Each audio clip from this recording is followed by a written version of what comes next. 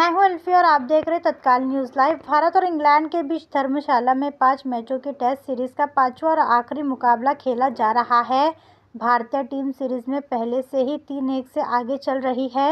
ऐसे में ये मैच जीतकर टीम इंडिया विश्व टेस्ट चैंपियनशिप में अपनी स्थिति मज़बूत करने उतरी है। इंग्लैंड ने पहले बल्लेबाजी करते हुए अपनी फ़िलहाल पारी में दो सौ अठारह रन बनाए थे। जवाब में भारत की पहली पारी जारी है। आज टेस्ट का दूसरा दिन है। भारत का स्कोर फ़िलहाल तीन विकेट पर 313 रन है। सरफराज सात रन और देवदत्त पंडिकल तीस रन बनाकर क्रिस पर है। दोनों के बीच अब तक 34 रन की साझेदारी हो चुकी है। भारत की बढ़त फ़िलहाल पचानवे रन हो चुकी है।